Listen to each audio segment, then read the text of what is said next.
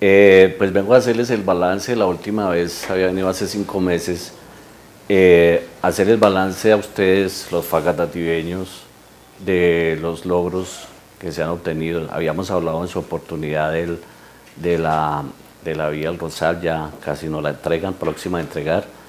Eh, la variante, en esa oportunidad hemos hablado del tema.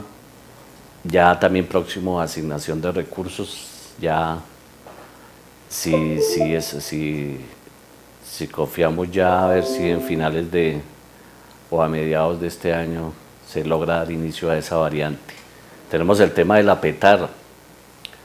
Eh, la PETAR que la, se gestionó hace tres años, que estaba estancado ese tema, Giovanito, el tema de los 15 mil millones que nos dejó cuando invité al ministro Vallejo, nos dejó casi 15 mil millones, logramos desentrabarla porque estaba un poco enredado, Giovanito. Entonces ya eh, en conversaciones que tuve con el gerente en días pasados, ellos están encargados ya de elaborar, junto con la CAR y el acueducto, la obra ya creo que inician, ayer estoy hablando con el ingeniero Casallas, un interventor del acueducto, creo que inician ahorita en el mes de abril. La PETAR de Santa Marta, no la nueva, sino la de Santa Marta, que ya estaba funcionando hace años. Entonces es un gran logro, Joan. Y por último, ciudadanos, es seguir demostrando que, nosotros como, como fagatativeños podemos hacer gestión. Ustedes, nosotros, como les decía, ustedes como medios de comunicación son un baluarte importante para transmitir estas ideas.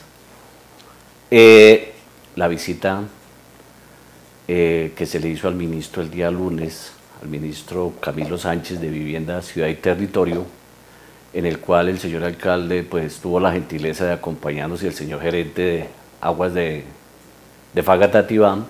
Un tema básico, básico para nuestra ciudad es el tema de, del embalse.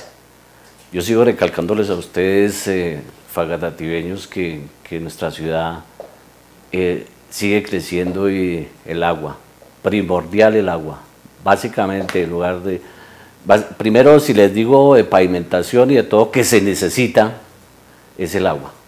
Nos preocupamos cuando no hay agua, cuando empieza el verano.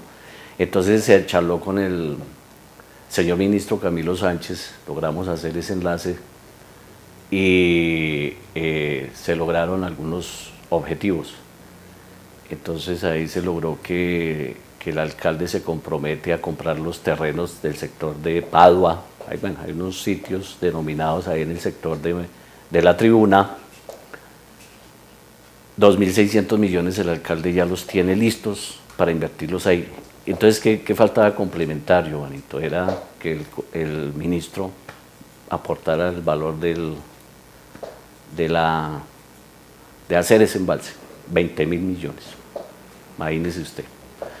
El ministro ya le puso la tarea de dar los recursos siempre y cuando le lleve toda la estructuración del proyecto. Le dejó plazo hasta el mes de junio antes de entregar el gobierno del presidente Santos.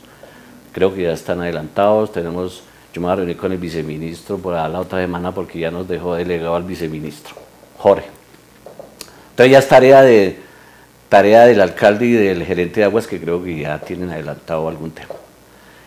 Eh, ustedes pedirles el favor, Giovanito, como director, estémosle preguntando al alcalde cómo va esa tarea que dejó el ministro.